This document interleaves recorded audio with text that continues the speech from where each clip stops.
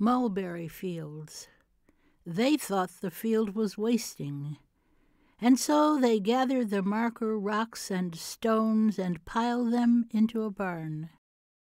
They say that the rocks were shaped, some of them scratched with triangles and other forms. They must have been trying to invent some new language, they say. The rocks went to build that wall there, guarding the manor, and some few were used for the state house. Crops refused to grow. I say the stones marked an old tongue, and it was called eternity and pointed toward the river.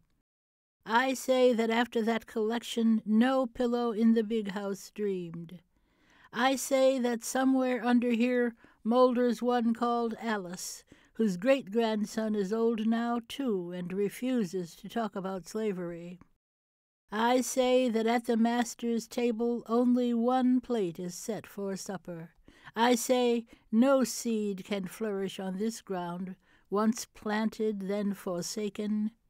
Wild berries warm a field of bones. Bloom how you must, I say.